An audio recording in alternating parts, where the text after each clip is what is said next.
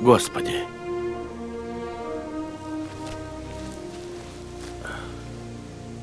Сколько раз прощать брату моему согрешившему против меня? До семи ли раз? Не говорю тебе до семи.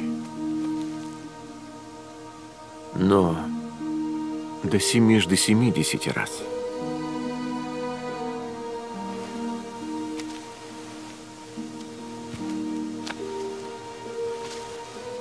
Посему Царство Небесное подобно царю, который захотел сосчитаться с рабами своими. Когда начал он считаться, приведен был к нему некто, который должен был ему 10 тысяч талантов. А как он не имел чем заплатить, то государь его приказал продать его, и жену его, и детей, и все, что он имел, и заплатить. Тогда раб тот пал и, кланяясь ему, говорил, «Государь, потерпи на мне, и все тебе заплачу». Государь, умилосердившись над рабом тем, отпустил его.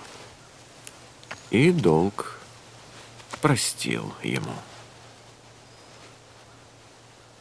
Раб же тут, выйдя, нашел одного из товарищей своих, который должен был ему сто динариев, и, схватив его, душил, говоря, «Отдай мне, что должен». Тогда товарищ его пал к ногам его, умолял его и говорил, «Потерпи на мне, и все отдам тебе». Но тот не захотел, а пошел и посадил его в темницу, пока не отдаст долга. Товарищи его, видев происшедшее, очень огорчились и, придя, рассказали государю своему все бывшее. Тогда государь его призывает его и говорит, «Злой раб, весь долг тот. Я простил тебе, потому что ты упросил меня. Не надлежало ли и тебе помиловать товарища твоего, как и я помиловал тебя?»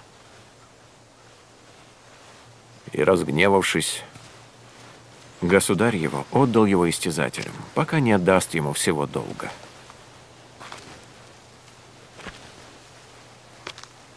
Так и Отец мой Небесный поступит с вами. Если не простит каждый из вас от сердца своего брату своему согрешение его.